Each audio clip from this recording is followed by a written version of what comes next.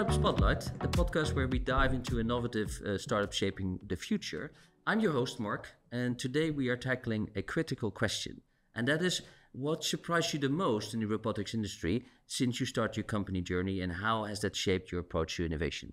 Um, with me, I'm very happy to have Dave from Rollyy and Özgün from Tabnomous, um, and they are startups that are actually transforming the industry as, as we talk. Um, we will tackle a critical question, but first let me uh, introduce uh, Dave. Well, uh, well, hi everybody. Thank you for the invitation. For me, it's a pleasure. My name is Dave. I'm the CEO and founder of Rollyy. I have been in IT for the last 15 years, working in different verticals from fintech, chatbots with NLP, neuroscience, dating, but also corporate innovation where I had the opportunity to actually start what we call now uh, Rollyy. So I was the head of a 5G, working with autonomous robots and, and 5G and edge computing. And yeah, this is how I started the whole history behind three years ago, actually. Thank you, Özgün. Hello, uh, I'm Özgün, Tabnomous co-founder. Uh, we have been uh, working on its autonomous mobile solution technologies for than uh, 12 years, I can say.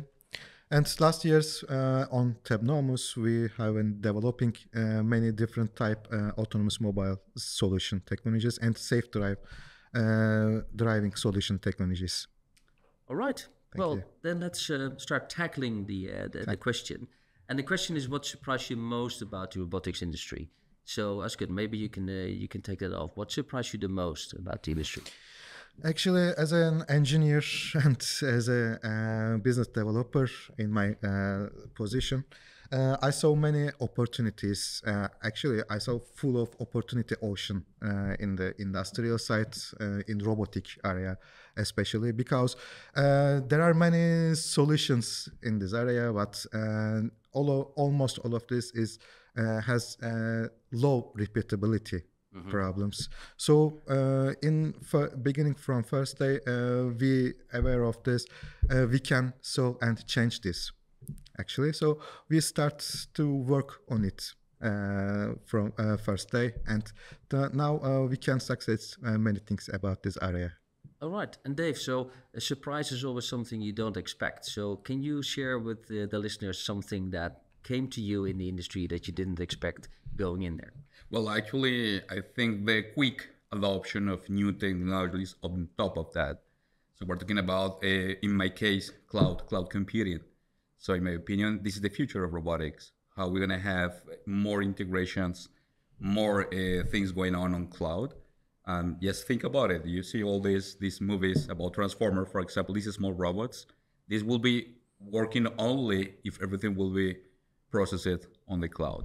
So I think this type of thing that is coming are super huge. We have NVIDIA, for example, uh, there is actually rolling, and they are the leaders uh, working with the software technologies for robotics. Mm-hmm. We're part of it, by the way. We're part of the NVIDIA Inception program. So we have a lot of new features there that I hope soon we're going to play around and okay. make it public.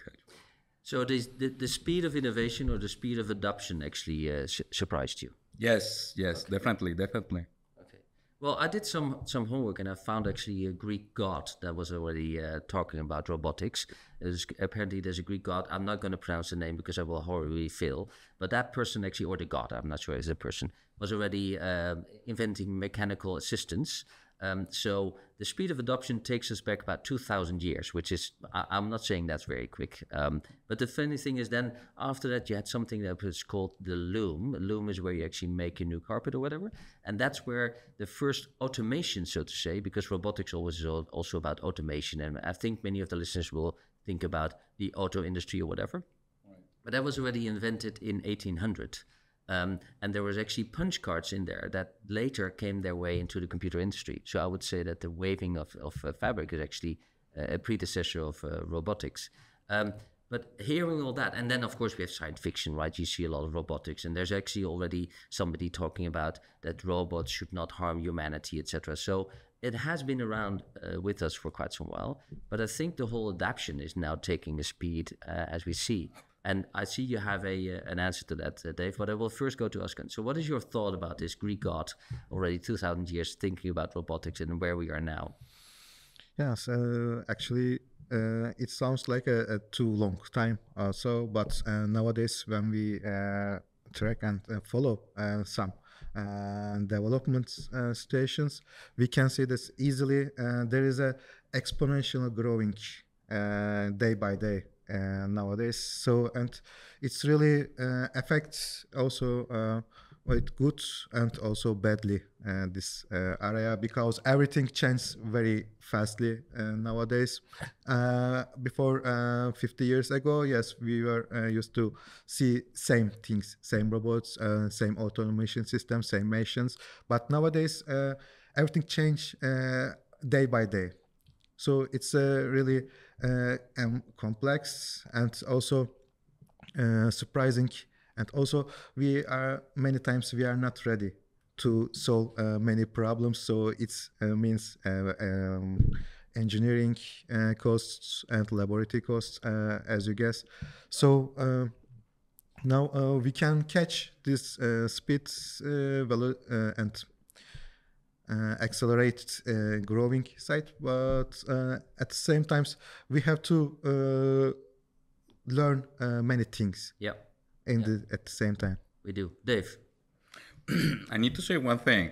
There are a lot of things happening now that we don't know. I mean, uh, we're talking about the big corporations working in robotics. I don't know, the Chinese companies, European, American.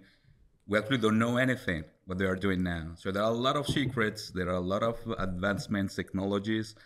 And the thing, in my opinion, now the, the, the key uh, thing here is how, for example, in our case, working in robotics, in well, in mobile uh, robots, we need to help the adoption on businesses because you can see a lot of automat- automatization in companies, whatever. But now we're talking about how we're gonna serve the, the the the people, the citizens, and them is the challenge. So I think that now we're actually working with the, in a in a special time when we're going to have the opportunity to show up how uh, normal businesses can adopt robots. So I think it's cru- crucial, but I think we're on time. We're on time to work on that. Yeah, and I think the industry is also moving from what we used to see, like these arms putting Teslas together, etc. That that's about uh, automation or robotics, and now we're we're having them maybe already in our household. I was in the yeah, I was in the, in the hospital. Luckily, not for myself, just for a regular checkup. Uh, in the hospital the other week, and I saw uh, these robots that are actually there to take care of elderly people. Right. So, uh, and I, I'm not. I, I'm, you are not in those kinds of robots. What, uh, but, but what is your vision on that, uh, Oscar? How do you see robots coming into, like Dave said, in your personal life and really becoming, let's say, your friend or maybe your uh, answer to everything? Uh, actually, uh, I, I don't support any uh, science fiction ideas about this. I can say, uh, uh, to be honest. Also, but they will affect everything as soon. Maybe ten years later, everything will be changed in robotic area, and they will start to enter to our life in our home uh, and they will take and delegate many uh, work and jobs uh, around us not just uh, working site in our social life maybe. Maybe we can send them uh, to any meetings or events um, probably we can do this uh, as you know tesla working on it uh, for a long time. And um, now uh, Elon Musk has a dream. Uh, he wants to sell it at ten thousand dollars Yeah. uh, soon. Uh, they want to start uh, this process. So uh, we have to be ready for uh, a big uh, changing in our lives, but uh, we have to manage this uh, process. It's very carefully also because still we are human. We have lives. We have uh, works. We have aims. We have dreams for this. We have to. Uh, draw the borderlines uh, very specifically in this area i believe in Absolutely. And I think, I mean, you said I don't support uh, um, uh, science fiction on this. I, I agree, although if you look around us, right, a hoverboard is now something that my kid has, and that actually was actually featured in the Back to the Future movie like uh, 60 years ago, whatever, right? And even the fact that we call it a robot comes from a science fiction movie. So the whole term robot and later on robotics actually was coined by sci- science fiction first. Um, Dave, you were also having uh, an answer. well, I have some uh, something to comment to you anyway. So the thing is that we're afraid about about these new comings, about these new technologies, about how it's going to be the future. Of course, there are a lot of talkings about that. Of course, the robots just needs to be here to help. In my opinion, that's the way how we need to build this business. how the robots can help in any task or the people actually. Being an AI, I'm gonna be really honest with you guys. Do you think that China or Japan or they didn't have this ready? Of course, yes. There are other things that they are not showing up because it's not actually publicly and it's not for everybody. But I think anyway, it will, it will take time. It will take time. That's why again, I'm coming back to the to my point that this is another. We need to to to make business to adopt this because there are a lot of companies uh, integrating robots now in their in their in their businesses. But we're talking about B2B huge fabrics. I don't know. I mean, these type of, of things. that they have automatization in the, the different fields. Now, in my point, it's super important on how we're going to integrate it again, coming back to the cities and the and the citizens. Mm-hmm. That's why, for example, in our case, we're, we're working closer with the municipalities in Finland. Finland, in my opinion, is super advanced. You can see robots actually, food delivery robots on the streets so I think it takes time, of course, and at the beginning will be difficult, of course, but time by time we need actually to get rid of it. We need to slow down the adoption. No, no, true. And about a century ago, somebody said science fiction, like there was a law. They first had three laws, and then they turned it into one, and it said a robot uh, may not harm humanity, or by inaction allow uh, humanity to come to harm. So basically, it's there to help us, like you said. But let's tackle the second part of the, uh, the, the, the main question is uh, because now you said about the robotics industry and what surprised you, but the second part is how did that shape your approach to innovation? So, Oscar, how did the coming into the robotic industry, how did that shape um, your approach to innovation? Um, uh, how can I say it? Uh, I can explain this like this. Uh, innovation shaped in robotics, uh, like about the uh, usefulness uh, side. Uh, so how can we use these systems uh, with high efficiency and uh, maximum capacity? So nowadays, all of uh, these works and studies about robotics sites focusing on these questions directly. So robotics actually mean is efficiency in the mm-hmm. many sectors in many areas nowadays.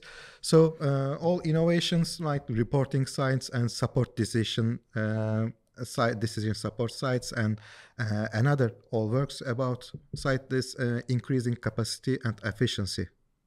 Okay. And Dave, what is your approach to innovation based on the robotics industry? Uh, we'll come back to the to the first comment that I did about cloud because I mean robotics, and mechanical, everything. Of course, they have been doing for the last 50, 50 years or more actually. But I think that now we are actually trying to integrate new things, and this is the core, the, in my opinion, the core task: how to approach what we have, the technology that we have, and how we can integrate with new ones. Uh, again, in my opinion, cloud will be a play a huge, uh, uh, let's say, role here. So we're talking about a cloud robotics. Actually, I think you know about about this, and and actually is how how we're gonna how we're gonna help uh, different different stuff, different things, different robots to be connected with each other actually. And this is really bad actually. I mean, can be for you actually, but this is the truth. I mean, how the, for example, the the electric vehicles they are connected to each other, but we don't know that. Well, not everybody. So this is actually in my in, in my case again how we can um, allow uh, connection between the vehicles, the batteries, and the robots. Right. So it's about how, how we're connecting all of these. And this is what we're trying to do. Okay. I, I want to address another topic. It's about the tolerance of failure. So um, we all know that Tesla is trying to um, have self-driving taxis, etc., already for, for I think a decade or more. Um, the problem is, and I saw that in my neighborhood as well. We had a Tesla driver that was on, on self-driving, and he actually, unfortunately, he hit a tree and he could not uh, actually uh, he, well he died in that accident right? But then you say okay that's that's a loss of life and that's of course very impactful to the family and everybody. But if you look at that if you zoom out right how many people actually die in the traffic every single day? Due to human errors. So that happens a lot. I think it's still very dangerous to be in traffic right now the thing is apparently humans say well if it's a human error even if somebody had a drink too many and then causes an accident it's also like part of life. Whereas if a robot crashes into something and it actually injures your small little toe, so small impact, then people say we cannot go to self-driving, etc. And so I think uh, I'd like your view on that debate because on, on the one hand, it's a lot safer. Robots don't get tired, don't have flaws that humans do, whatever. On the other hand, the tolerance of fault is a lot lower. So how do you go about that? Uh, Yes, it's our main uh, working area, uh, failure and toleration. I can uh, give an example about uh, our business sites. Uh, we are in factories about autonomous driving solutions. We are moving very heavy loads in factories, so we can see this. If we stop or make a malfunction station or another uh, ex- uh, small accident, it creates a big sensation in the factory even. Because uh, nowadays still the people has have tolerance to another people drivers and forklifts and they can think this they are human they can do this. But in robotic side they think uh, idealist about this. Robots can't uh, and make mistake. Robot can't stop. Robot can uh, make any wrong thing about uh, his uh, duties and his responsibilities sites. Uh, because of this they have no um, any uh, toleration about this. So uh, it start, uh, creates a big sensation. Uh, in uh, like example in tesla sites uh, we can see. Uh, went a long time this idea and this uh, this station uh, won't be changed i can say and Dave, what's your view on that? Well, um, I think we're living in, in again in the same country in Finland. Yeah. And it's a good example, yeah, right? So how the country itself understands that needs to be adoption of new technologies or new uh, well things around robotics in this case, and they need to go step by step. So Finland is not the the unique one. I mean, we have Estonia. I think UK also in some in some small part. The USA in, in in California and other states, by the way, they have been doing this step by step. So this is something that, in my opinion, will not stop anybody. To be honest, is good or bad, we can debate on that. But but uh, at the end of the day, people are building products for people and trying to increase uh, the, the the the lifetime of the, of the people, whatever. So I think yes, it's a big challenge, of course, and, and will be not easier. But again, I believe that there are some some uh, countries believing on this, and they are doing this this step by step. And about the low tolerance in in Finland was the same at the beginning two years ago when the, the robots started ro- going around in the city, and now another people loves. You know, at the beginning they were scared or they were not against that.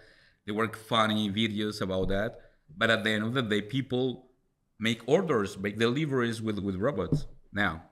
Yeah, it's a shame. It's a process. Same like 40 years ago, if you ask people on the street, "Do you need a mobile phone?" They would say, "No, I'm, I'm reachable by by my uh, my own phone. Right. Right. Why would I need a phone when I'm on the bike?" And now we can no longer do without it. Okay. Right. So as a as a final thought, uh, Leonardo da Vinci also made a couple of designs on on robots. I think he designed the first helicopter. It never flew, of course, but he had a design. Uh, In in your creative uh, creative minds, Oscar, what would be your next Leonardo da Vinci kind of robot that you would like to see in in your space? uh, probably and they will uh, write poem and yes definitely and they will write uh, and uh, no exist any stories maybe uh, movie scenarios they will start. Uh, they are our uh, new actually uh, leonardo da vinci uh, models. Because um, today uh, they uh, dreaming uh, for this. Because now uh, still there is a um, reality uh, uh, many people think uh, robot robots can't uh, create anything uh, from 0 and uh, and happen uh, in this uh, world so when uh, they will start to create and uh, draft some things about them uh, it will be uh, affect may, maybe all of things Okay, and Dave, your Leonardo kind of uh, design. Tell us. No, well, I think that uh, one of the verticals that I think they're doing really good in, in for example, in, in medicine. So we're talking about uh, surgeries, for example. So they have been doing like really good cases where uh, the doctor is really far away and there is a robot actually with an arm robot. So I think these kind of things would definitely make the difference in robotics. Again, in my opinion, is how how to to help people. The task needs to be on that. Right. So I think I think this type of uh, telemedicine, not telemedicine, but everything related with the medicine will be a good a good thing to be. And it's, and it's happening actually. I mean, I'm not t- telling any any cyberpunk thing. It's happening, happening. I forgot the name of the movie, but I saw a movie on the plane the other day where there was actually a company who um, had the single view of saying, let's get a robot out there that is the, for, the, the, the form factor of a child. And the only thing that this robot needs to do is to love the other people that there's in their family. And there's a whole debate in that movie and it's really fun well it's it's fun and interesting to see how do you go about loving a machine how do you go and what is love right how do you how do you actually do that But I'm so sorry, but you, you don't need to go far away. Are you, do you have your own car? yes i do Do you love your car? Uh, yes but it's not I my mean, I do. no no okay. No you're right but it's so if you look at that movie it's really it's like a mother and it, it's it's really it gets you thinking saying where are we heading into what are we heading into? So uh, i think the robotics industry is here to stay. Like i said already started 2000 years ago. I, I didn't even know when greek gods actually lived but it, it sounded well decades if not millions of years ago uh, and i think we, we're looking at a bright future. So uh, uh, thank you very much for for being in this uh, this podcast, and um, yeah, thank you for joining to our all, all of our listeners. So thank you for joining the Startup uh, Spotlight. Um, we hope you enjoyed uh, exploring our guests' uh, view on things, and uh, yeah, subscribe and please be on the next one. So. Um, when you're interested, and this is for the listeners uh, outside, when you're interested in investing in transformative startups, passionate about mentoring the next wave of pioneers, or a founder with a groundbreaking idea, we love to connect to you, right? So please reach out. For info, you can, how you can get involved, you can visit us at startupbootcamp.org or find us on all the socials like Instagram, Facebook. Are there still people on Facebook? Yes, I think it's my uh, my generation that's on oh, Facebook. I do. it. Yeah, okay. Uh, LinkedIn, Twitter, and TikTok, and we cannot wait to uh, to see you there. So, uh, with that, I would like to say, uh, let's uh, see you at the next Startup Spotlight. And remember, innovation will save the world. See you soon. Thank you.